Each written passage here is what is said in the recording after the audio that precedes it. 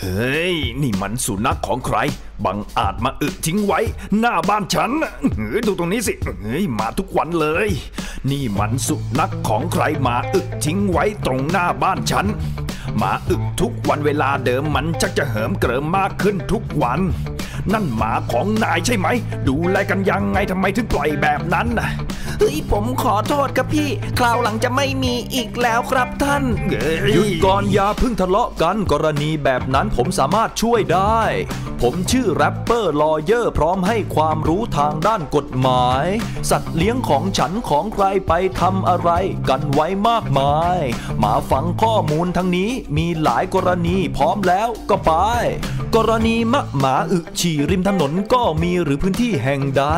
มีความผิดตามพรบรักษาความสะอาดนะ ต้องเข้าใจฮะงั้นก็งั้นก็แสดงว่าถ้าหมาของเราไปบอมหน้าบ้านใครอะทุกแบบล้วนมีความผิดจะเลี้ยงก็ต้องคิดดูแลด้วยใจ กรณีที่หมาของเราไปกัดผู้อื่นจนเกิดอันตรายทำลายทรัพย์สินของเขาเพราะหมาของเราทำของเขาเสียหายปล่อยปละละเลยสัตว์เลี้ยงอยู่เพียงลำพัง หลุดออกมาง่ายๆขืนยังปล่อยปละละเลยอย่าทำเฉยเมย มีโทษนะนาย กรณีที่หมาของเราไปกัดคนอื่น เพราะเจ้าของประมาทเฮ้เจ้าของต้องรับผิดชอบทุกอย่างทั้งหมดจำนวนเงินหลายบาท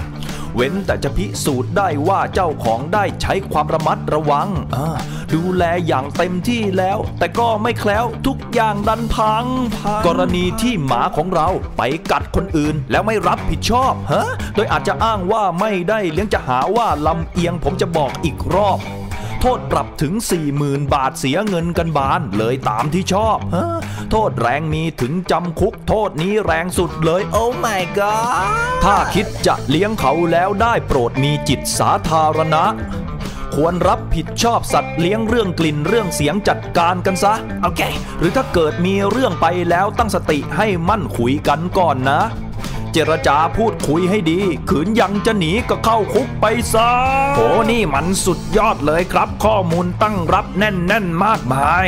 นี่มันใกล้ตัวทั้งนั้น ถ้าเกิดเถียงกันให้ดูที่กฎหมาย อะไรผิดก็ว่าไปตามผิดปรับจูนความคิดกันแบบง่ายๆ ขอบคุณ Rapper Lawyer ที่ให้ความรู้ทางด้านกฎหมายเฮ้ยวันนี้มีมุกมาฝากรองเท้าอะไรที่โคตรหายาก ก็รองเท้าหายไงล่ะเฮ้ยเฉลยเลยเหรอ ก็ไม่ต้องพูดมาก ประตูนั้นกลัวอะไรเอ้ยขอตอบได้ไหมเอ้ยไม่ต้องมาห้ามเอ้ยประตูกลัวไฟไงล่ะ เพราะประตูหนีไฟอะถูกต้องแล้วครับโอ้ขอบคุณตลกทุกมากคนมากครับ พร้อมให้ความรู้แบบสบายสบายๆดูแลสัตว์เลี้ยงให้ดีห้ามปล่อยอึชีเรียราดง่ายๆ สัตว์เลี้ยงก็มีจิตใจดูแลเขาไว้ให้ดีนะนาย เอาเขาเข้ามาเลี้ยงแล้วก็ควรต้องเลี้ยงเขาไปจนตา